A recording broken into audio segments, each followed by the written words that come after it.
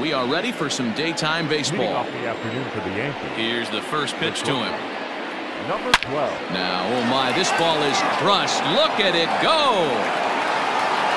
And gone up into the second deck.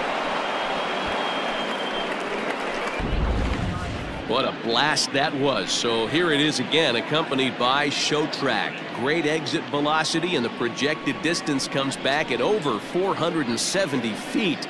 An impressive thing to watch when it happened, and even more impressive to quantify with the numbers.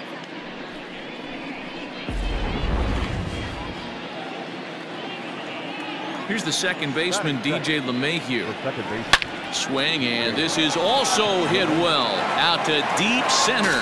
Gone! What a start.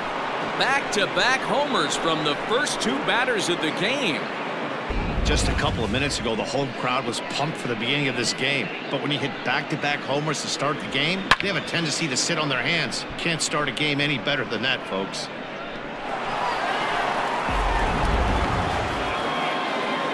Now in the box, Aaron Judge. He'll get to take his first cuts here.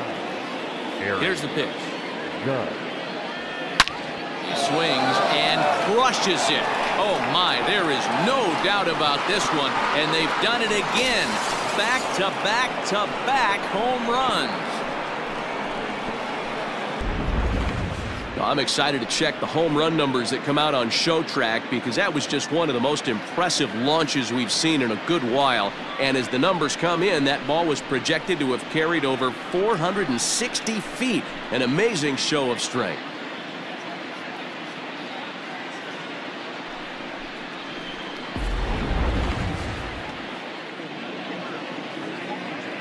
And digging into the batter's box next will be Giancarlo Stanton. A swing, and there it goes.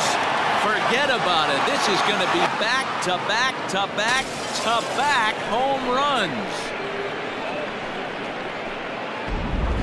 The long ball is playing in this one. That was the fourth blast of the game so far for this lineup. Dan Dero, what are your thoughts on what they're doing as a team so far?